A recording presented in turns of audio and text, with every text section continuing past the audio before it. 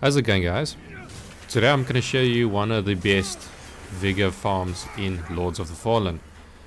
You will also be able to do this more quickly eh, depending on your build. If you've got a lot of AoE, you will be able to shoot through this thing very quickly. Now the starting location is going to be the depth vestige that we are going to travel to. It's currently in the mines and then from here on out you can just run to this position and jump into the Umbra Vault. You will be able to push two or one mobs over and drop them from the legend almost killing them enabling you just to one tap them quickly and to get rid of them.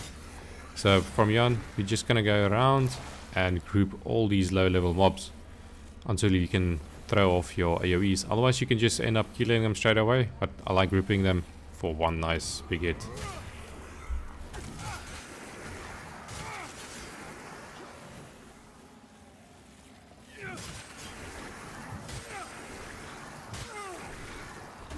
And then once you got rid of them all, you can just head back to the vestige and just rest again and redo this whole scenario again.